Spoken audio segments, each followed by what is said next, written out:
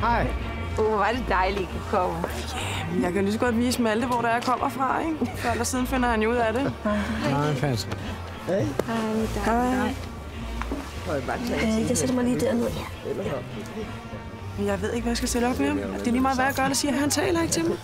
Jeg har en overraskelse til ham. Hvad er det? Det siger jeg sgu da ikke, så er det jo ingen overraskelse.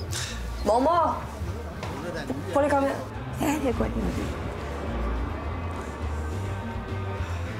Ja, Du ser træt ud for ham. Jamen, det er jeg ikke. Jeg er lige så god som ny. Jamen, jeg håber, du passer på dig selv, ikke? Og ikke arbejder for meget. Arbejde? Har du fået arbejde?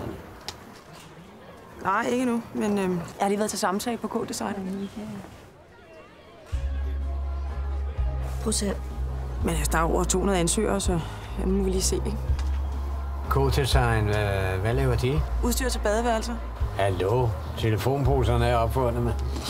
Hvad stopper du for? Altså, hør lige her, min pige. Og du skal ikke kalde mig min pige. Det Hør irriterer her, mig helt vildt meget, når du kalder mig min pige. Det er så mange år siden, jeg var din pige. Det bekymrer mig sgu da, at du ikke har noget arbejde. Du kan da bare søge noget andet. Prøv at spørge mor. Nede på Rådhuset, der mangler de rengøringshjælp. Altså, der møder de tidligere og tidlig fri. Altså, jeg har sgu da ikke gået fem år på designskolen for at gøre rent på et rådhus. Altså, selvom du har en højt uddannelse, skal du nok søge noget almindeligt arbejde. ikke? Men vi har haft den her diskussion tusind gange. Gitte, Nej, nu skal du tage dig sammen, Herluf. Hold nu din kæft med alt det bag. du kunne da ikke høre, hvad vi snakker om. Kan du måske mundaflæsning? Nej, det behøver jeg ikke, for du siger altid det samme. Jeg siger da ikke det samme hele tiden. Gør du da? Du lever i en anden tid. Du har ikke udviklet dig de sidste 100 år.